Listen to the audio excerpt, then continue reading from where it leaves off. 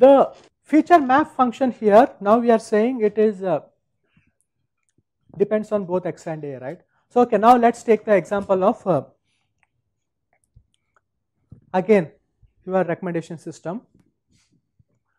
Now what you are going to do is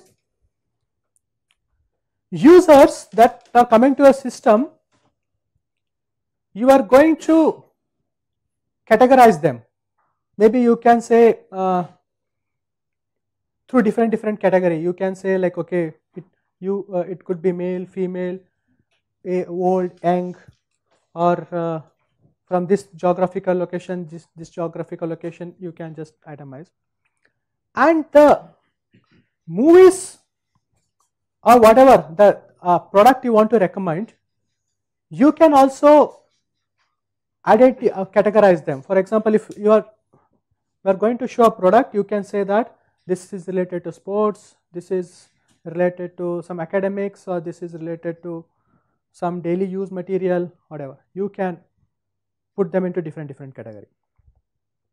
Now,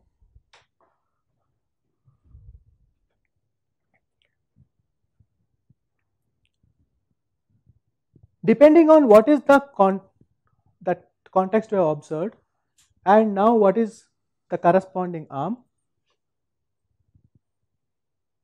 the phi of x comma a is going to tell what is the common feature for this pair. For example let us say you let us take this example okay? Now let us say you have a some product and there is one guy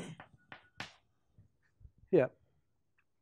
This product you have come up with a categorization of this product. Let us say this is uh, uh, sports or uh, it could be movie related. Or it could be let us say sports what whatever uh, uh, movie or some joy. Some something. This product can be anything. I mean but you are going to put it in one of this category. And this users you can put him in a category like uh, you can say its sex, its age group, maybe its location different. Okay. Now, how you are going to make a feature map out of it. So, suppose let us say this is for a so for every guy you are going to set this features and uh, for every product you are going to set this feature. For example, uh, you will have a collection of products and different different people are logging into you. For example, let us say you happen to show a DVD which corresponds to some movie. Now for that how you are going to assign definitely it is not a sports related item that component you are going to set it as 0 it is related to movie, maybe you can set it as 0. Joy, I do not know, you can set if it is thinking it is a good movie, enjoyable, let us say could be 1. Now for this person, let us say a girl happened to enter this website, for her it could be let us say sex can take 1 or 0 it could be like let us say 1 for female, we have this. And also you have classif age, you have two things very old and very young. And let us say it is a very young, you can get this. And location also maybe you would have categorized and let us say you got it. You see that depending on that user and depending on the product now you have this feature map like this which is given by this guy phi x comma i. So this the, whatever the feature map I have written here right it depend on what was the user and what was the product right. So that is why it depends on both the user and the product. And I, I can generate such features. And it is all like all the recommendation systems are exactly working based on these features extracted right? When you are going to log in the way it stores your informations maybe through such categorization and uh, generating features out of your profile information. Yeah?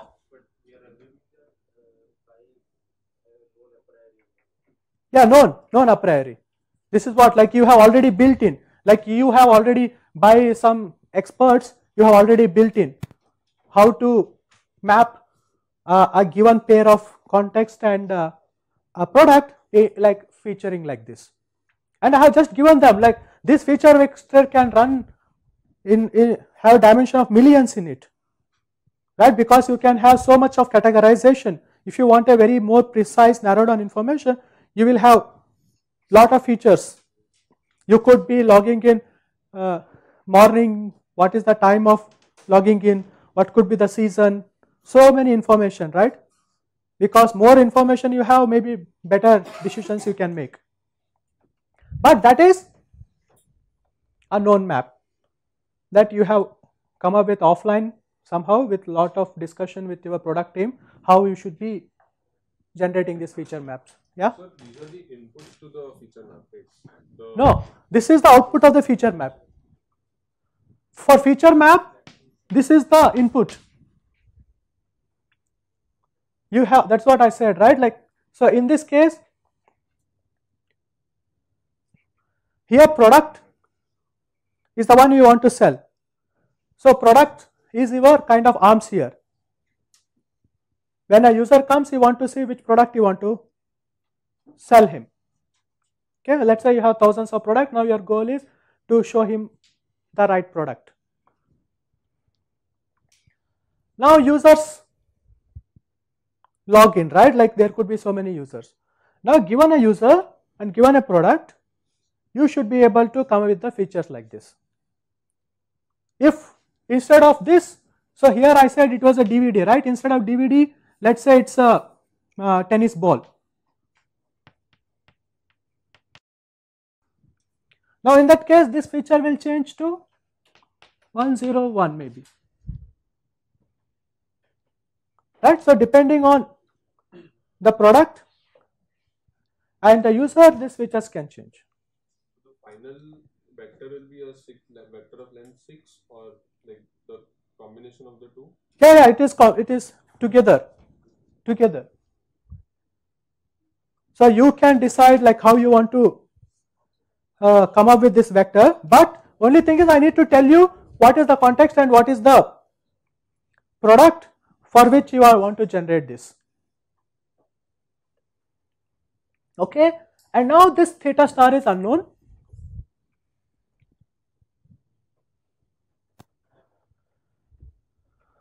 And this part is known. Now, what it boils down, the problem boils down to determining this theta star. If I know this theta star, I already know my reward functions, right. Now the question is, uh,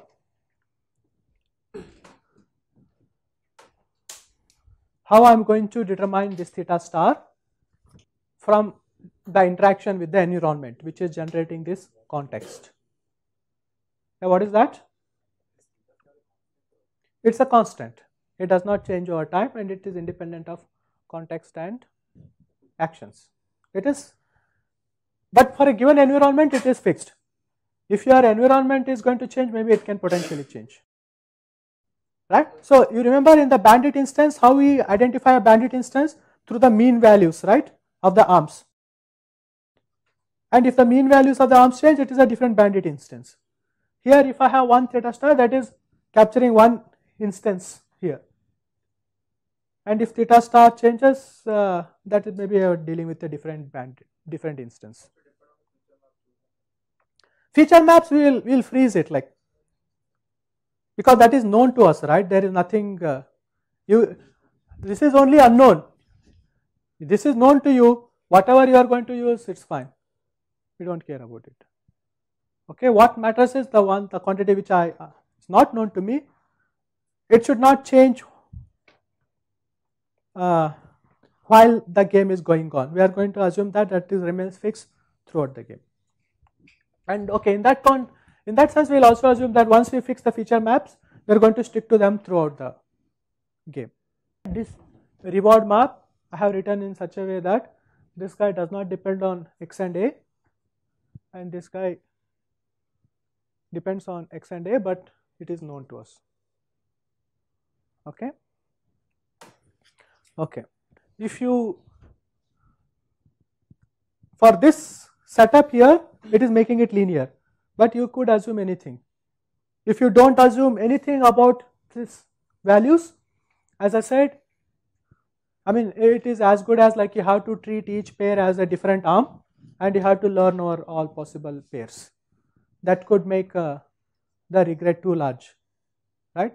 So we want to that's what. And uh, I, we also said that in such when you have such contextual information it is natural to assume that one context to reveal some information about the other. So that is why we have having this common parameter which will make whatever information I am going to get about one arm, I mean one uh, context and arm pair to extract some information about uh, other context arm pairs. Now as I said, now in this the problem boils down to like if I know this theta star I know my reward function already and uh, then I have I can know how to play optimally but I don't know this theta star. Now how to find this theta star? In general whatever dimension this theta star it is right we assume that that dimension is known okay and uh, we are going to assume that further this theta star, the norm of this theta star is bounded. So, we will further assume that like uh, if you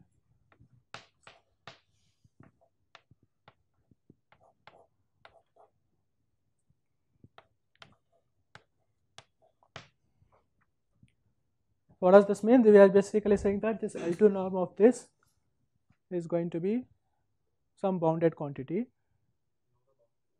We know the bound we assume that this uh, bound is known to us. Okay. Now, what is this basically saying that suppose now if I am going to look this suppose let us take one context pair and take another context pair.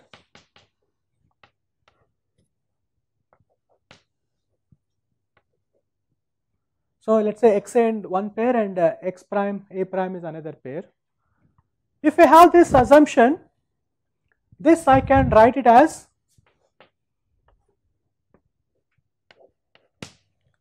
so this theta star is common right? It does not depend on what is x and a I can just uh, apply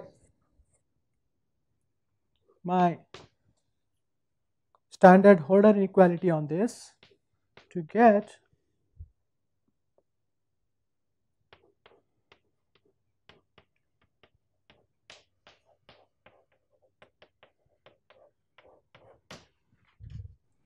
and then I can just uh, now treat as if I know putting this assumption like this theta star is upper bounded by like this is like some assuming that uh, this function has this kind of Lipschitz, uh, Lipschitz uh, property on it.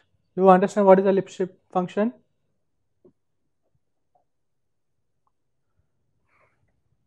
So what is this basically this function here is nothing but as somebody said this is a linear function in theta star right okay? So i am just so what is the Lipschitz function? If we have f of x minus f of x star what is this?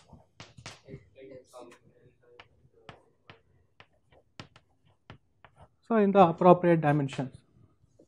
Whatever right? So this is now similarly what we are basically doing is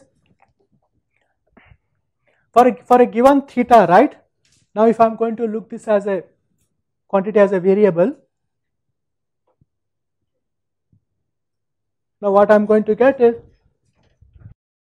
just this quantity where now I am just uh, putting a constraint on this theta star norm to be bounded is basically saying that this function is Lipschitz with that constant L. Okay. So, we are just going to assume this and uh, that L is known to us. Okay. So, it basically limits that my theta star lies in some bounded space.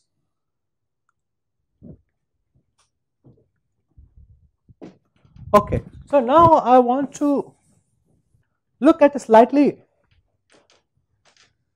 So, now we are going to stick to this assumption that my rewards are linear or they are parameterized by some theta star okay that is unknown to us. Now we are going to look it in a slightly different angle and that is going to that is another well studied uh, uh, setup. What we are going to now do is what is basically happening to us when a context came to us when a context came to us this was my arm1 arm2 r3 right? What i am basically doing what i am basically doing is first i am looking for i have already pre-computed them. Let's say my feature maps give me for every action pair what is that? So what i can do whenever a context comes to me I can think of for every action A, I can look for these feature maps for that context and then what I have to basically do is look for a action or look for a feature. So, I have this many features now which I have extracted from my feature map for a, that particular context. Now I have to basically what I have to do is now because I know my reward is inner product right.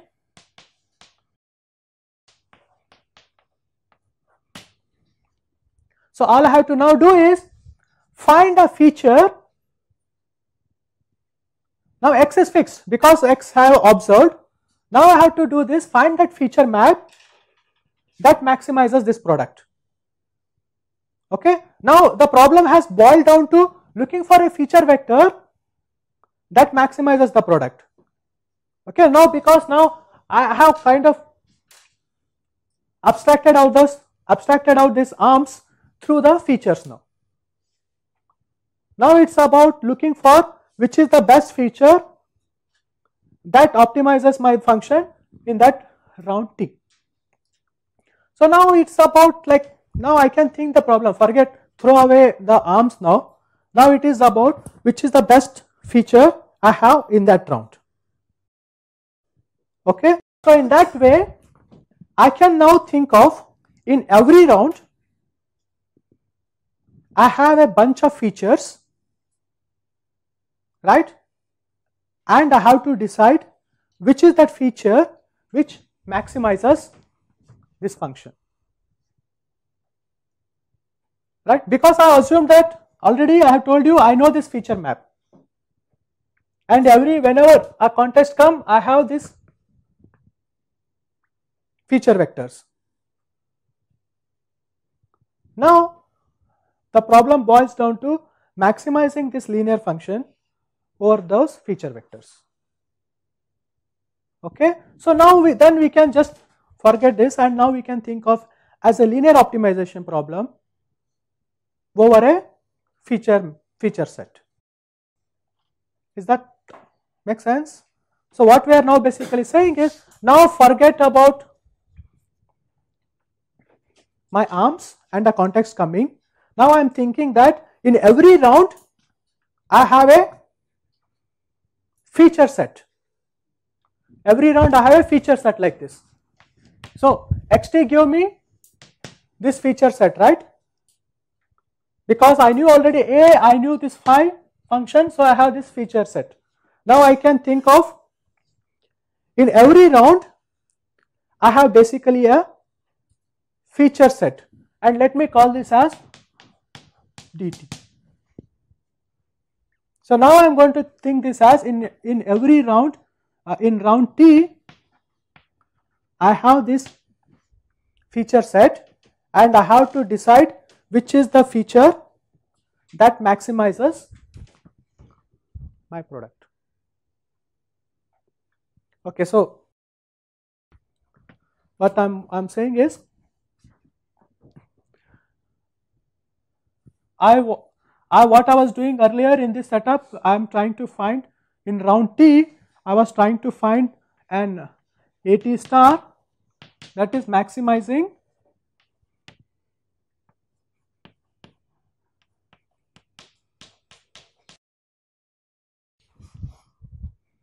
this linear function right? But now this feature vectors this uh, set I am denoting it by set dt then this problem boils down to see this dt's are a collection of features now. This entire set as I said I'm, I'm calling is dt right? So this set is collection of features that has come to me in round t. Now I am looking for a feature. Now I can equivalently write this as look for whatever it is uh, a feature or let me call it as uh, yeah dt dt star which is arg max of d belong to dt times d theta star. And uh, this can I do this? Can I map my problem of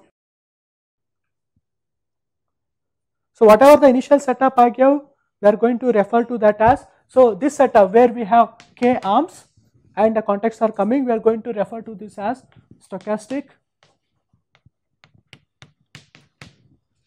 k arm bandit. Okay.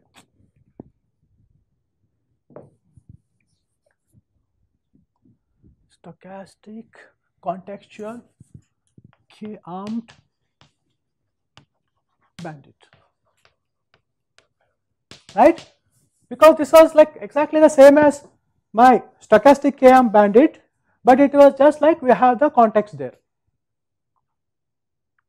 now after going through once I made my assumption that my reward function is linearly parameterized through this theta star. Now arms has no, I, I can, I, I don't worry about what the arms, what I have to worry about the features. Okay. So if I know which is the feature vector that maximizes this function, I already know what is that arm that is good for the that particular context x. So that's why what we are now saying is I can think this problem. Okay so now I am going to say that. I am going to now going to abstract this. Now we are going to abstract this. Now in every round I have a decision set dt that I am going to call it as simply decision set which involves set of vectors which are feature vectors. And now that is revealed and now what I have to do is in every round I have to pick one feature vector from them which maximizes my inner product. So,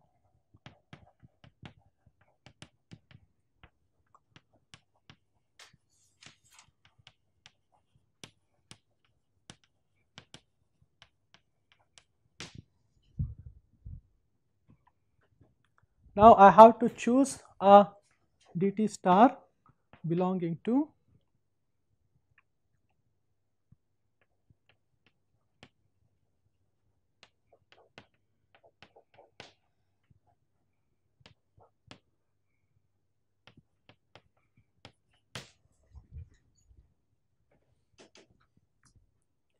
So this is I want to do this. And now I want to identify this feature. If I can identify the feature and now through this mapping I also know which is the action that is good for that feature. Now we are going to call this setting, we are going to simply call this setting as stochastic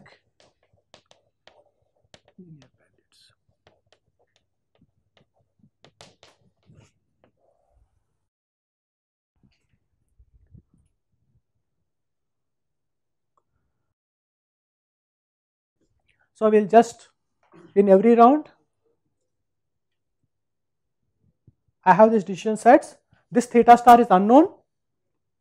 Now my goal is to identify what is the best feature from that. Okay, so now what I am going to observe? I am going to observe like in every round if I am going to play if I am going to so this is I have this set dt which involves set of features let us say if I am going to play xt belonging to dt in round t the reward I am going to observe is now simply xt times okay. So, let me not call this xt because that is confuses that with that. So, now it is going to be dt times theta star plus the noise. This noise term is same as earlier. So, now I am going to call this setup as simply stochastic linear bandits, but now you, you see that this is nothing but again this is just an abstraction of our stochastic k-armed uh, uh, stochastic contextual k-arm bandit. Okay. Now, what is the regret in this setting? The regret setting for this is simply what I have to do. I want to play select the best feature from my decision set in every round and uh, if you are going to do this in every round you are going to get the best actions but you do not know always what is this theta star so you can't play this in every round. So the best you are getting here is max over A.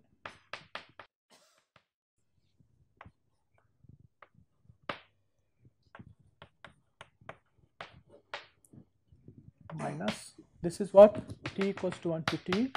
And this is the regret are going to incur. And we are and this is nothing but this is the RT you are going to incur.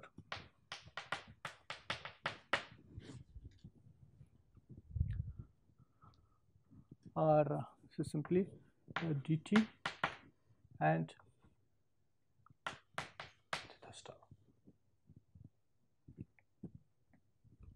Yeah. So, if you are going to play dt in round t, so the environment you are, this is the value you are going to observe, right? D? No, that, that arm has concept has gone right now we have abstracted out and now we are saying it is every term thing in terms of the features now. Because now for any arm pair we have this set of features now in every round. So when I have a uh, feature xt in round t, I had uh, got this set of features using this feature map. So this is what matters to me right now. I do not care what are the arms now. So now arms identity don't matter to me, only the features I have this set. And then from what matters to me is, can I identify a feature that map optimizes this theta star. If I know which is that feature that optimizes this, I already know what is the arm that is giving me the best reward. So that's why now I'm saying that instead of worrying about what are these arms, I'm only worrying about in every round instead of saying xt has come, I'm going to say that uh, feature set dt has revealed to me and now I have to identify what is the best feature that maximizes this. Okay, but so if I knew theta star, this is what I would have done in every round. but I don't know so I would have whatever my policy would have played dt in that round. So this is the reward I would have obtained and now I am going to compare my performance this is the total reward I would have got against what a oracle would have got who knew theta star. I am going to call this regret and uh, expected regret we are going to and uh, uh, okay this is yeah, we are just going to denote the expected regret as this whole. Yeah.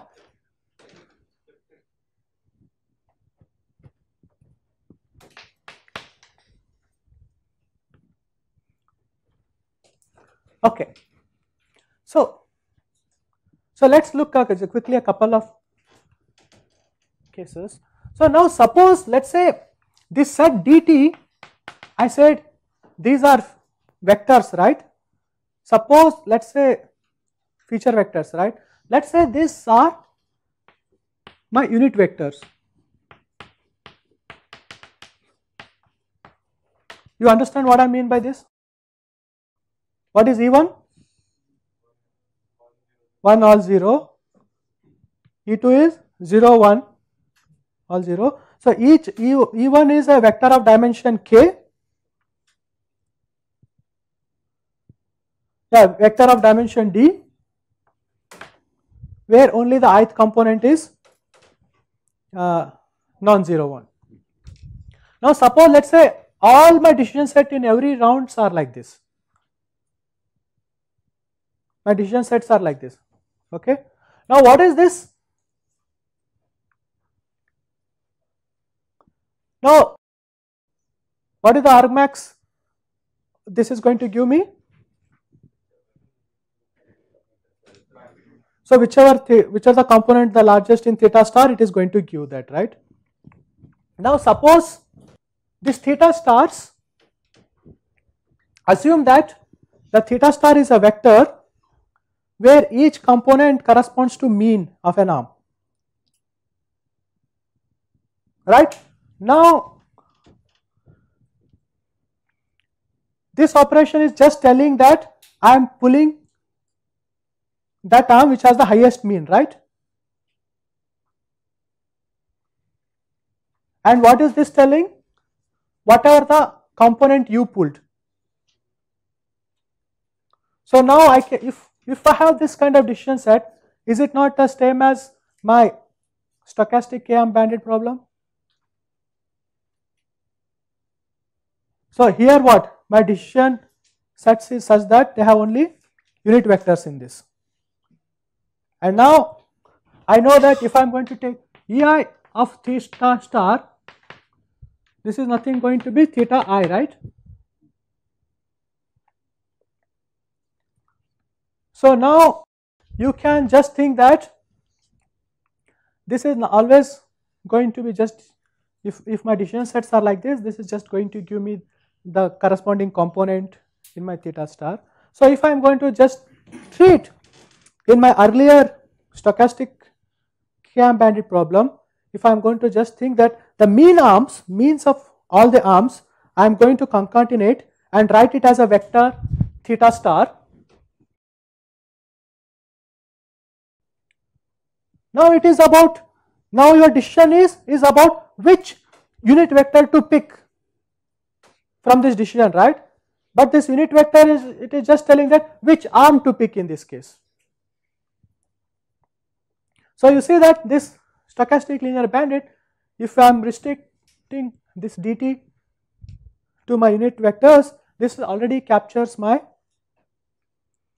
stochastic K-arm bandit setting okay, where this theta star, this unknown parameter here is nothing but the vector of the mean values of the arms which were which were characterizing the environment there. Now this theta star here is characterizing the environment. Okay, so in that way for this special set of DTT, DT which are unit vectors, the stochastic linear bandit is same as my stochastic K arm bandits. So K means D, D arm bandits because it is dealing with D arms here. If uh, theta star has dimension D, That means it is dealing with d arms.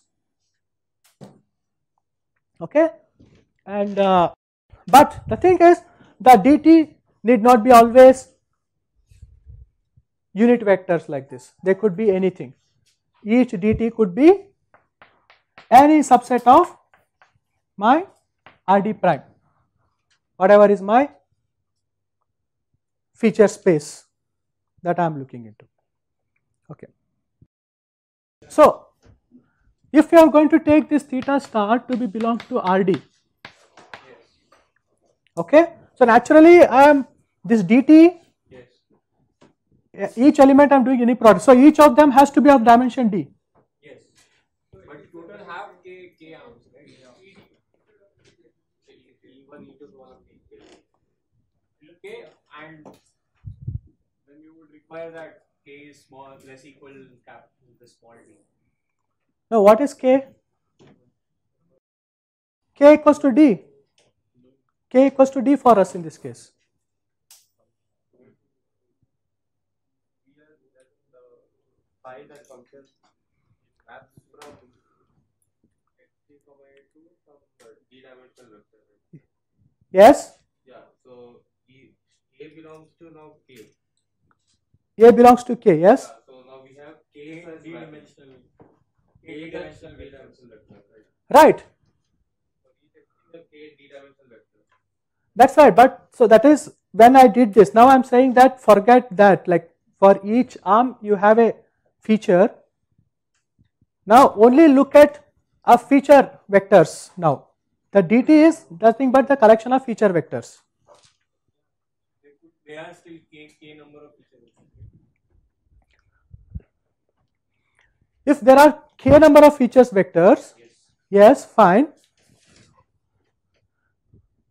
E1 to ek. E1 is again d-dimensional vector. E1 is a d-dimensional vectors and there are like k k of such. Exactly. So each arm, whatever this theta star here, right? I want each of this unit vector corresponding to one component in this. So I want as many unit vectors as there are as the dimension of this theta star. So that is why like in this case I want uh, uh, k to be same as d. Yeah, there are that many unit vectors. So is this clear why this is uh, giving me back, if my dt's are like this, why this is giving me back my stochastic K-arm bandits? So, so yeah, clear, it, it has, T has to be k for this mapping to happen. Okay, so let's stop here. We will continue this in the next class.